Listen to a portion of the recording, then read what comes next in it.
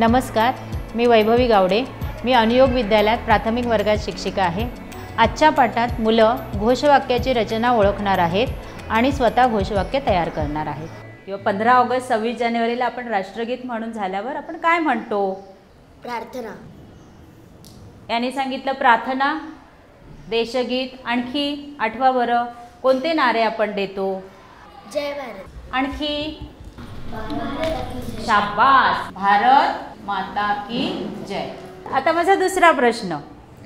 आपण आपल्या शाळेमध्ये तुमच्या घराच्या आजूबाजूला रेल्वे स्टेशन दवाखाना त्याचप्रमाणे रस्त्याच्या कडेला वगैरे अशा काही पाट्या आपण बघतो. बरोबर?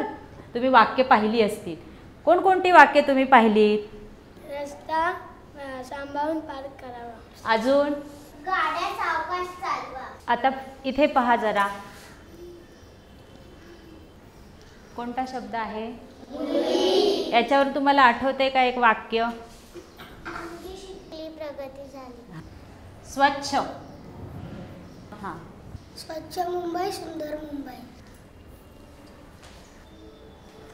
झाडे लावा झाडे जगवा. अरे वा. आता पहा आता हे जे तुम्ही मी चार भाग का केले त्याचं मी तुम्हाला कारण सांगते. पहा हे तुम्ही म्हणालात वाक्य नाहीये. मग हे काय आहे? तर या आहेत घोषणा. याला काय म्हणतात? घोषणा. ही जी वाक्य तुम्ही प- आता सांगितली काय म्हणतात? सूचना. याला काय म्हणतात? घोषवाक्य. ही जी तुम्ही सांगितली ही आहे माहिती. आता पहा बाळांनो इथे घोषणा शब्द आहे आणि इथे आहे घोषवाक्य. सारखा शब्द कोणता आलाय? घोष हा शब्द सारखा आलाय. घोष याचा अर्थ काय? घोष म्हणजे नारा. एकत्र आपण म्हणतो की नाही? त्याला म्हणतात नारा किंवा आरोळी आपण देतो. तर आज आपल्याला घोषवाक्यांबद्दल विचार करायचा आहे. कशासाठी असतात घोषवाक्य? कुठे वापरतो आपण? पहा या ठिकाणी. मुलगी शिकली. प्रगती मग इथे काही दिसते का वेगळे पण? शेवटी शिकलीला आणि झालीला ली जोडलेला. शेवटी बरोबर. म्हणजे इथे तुला अक्षरही सारखी वाटली. या ठिकाणी कोणतं आहे बघा? मुंबई मुंबई. बरोबर? लावा जगवा. मग शेवटचं अक्षर सारखं असणाऱ्या शब्दांना म्हणतात यमक जुळणारे शब्द. मग या ठिकाणी बोलताना आपण त्यामध्ये नाद येतो ठेका येतो. तुम्ही ठेक्यात म्हणता की नाही? स्वच्छ मुंबई सुंदर मुंबई. मग हे वाक्य मोठं आहे की छोटं आहे? छोटासा आहे ना? आणि त्याला अर्थ आहे की नाही? आहे ना? म्हणजे घोषवाक्य हे थोडक्यात असतं आणि त्याला अर्थ पण असतो म्हणून थोडक्यात पण अर्थपूर्ण देखील असतं. आपल्या भाषेमध्ये किंवा रोजच्या तुमच्या जगण्याच्या मत व्यवहारामध्ये भा या घोषवाक्यांचा उपयोग आपण कशासाठी करतो? कारण की लोक कचरा टाकतात. रस्त्यावर कचरा टाकणं हे चुकीचं आहे लोकांना समजायला पाहिजे. लोकांना समजण्यासाठी. कोणत्या विषयावर आहे हे घोषवाक्य? मुलगी.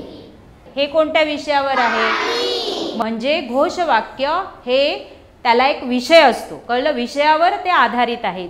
आणि जेव्हा आपण ही पाटी पाहतो झाडे लावा झाडे जगवा एक त्यातून आपण काय देतो लोकांना? संदेश. घोषवाक्य काय असते हे समजल्यावर आम्ही त्या वाक्यांच्या वैशिष्ट्यांवर चर्चा केली. या चर्चेतून मुलांना घो घोषवाक्यांमध्ये यमक जुळतात. त्यात एखादा सामाजिक संदेश दडलेला असतो आणि घोषवाक्य अर्थपूर्ण आणि थोडक्यात असतं हे मुलांना समजले. आपले आता किती? सहा गट आहेत. सहा गटांनी गोलात बसायचं. प्रत्येकाचा त्याच्यामध्ये सहभाग असला पाहिजे. सगळ्यांना मी चित्र देणार आहे. त्या चित्र तुम्ही पाहायचं त्याचं नीट निरीक्षण करायचं आहे प्रत्येकाने विषय ठरवा आणि चित्र जे आहे त्या चित्राचं नीट निरीक्षण करून तुम्हाला एक घोषवाक्य तयार करायचं आहे स्वतःचं.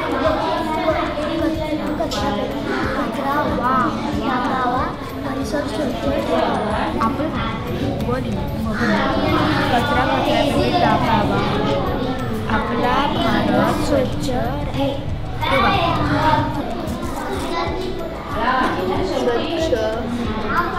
स्वच्छ घेऊया झाडांची काळजी या झाडाची काळजी किंवा झाडं लावा वावा येतोय ना हा झाडं लावा निसर्ग बनवा बरोबर बरोबर हे लक्षात परत आपलं लक्षात